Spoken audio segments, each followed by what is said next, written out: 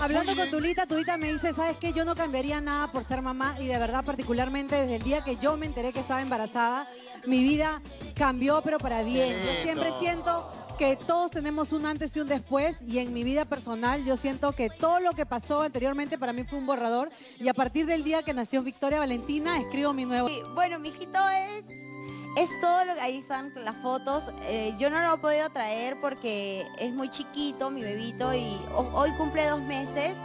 Pero más adelante ya lo voy a poder traer para que ustedes lo puedan conocer. Es un zambito bello, gordito, hermoso.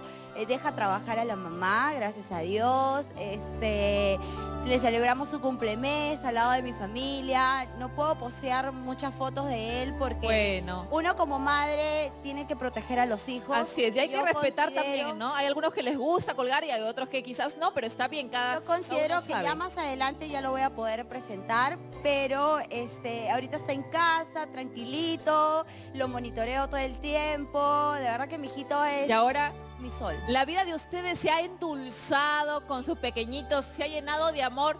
Y mira, tenemos la parejita, ella es la mujercita, yo el hombrecito, somos mejores amigas, y aparte nacieron casi iguales, porque el mío es el 7 y el de ella el 25. Bueno, van, van a cultivar también esa bella amistad, pero ahora son amigas, pero ahora se van a enfrentar en el doble perfecto.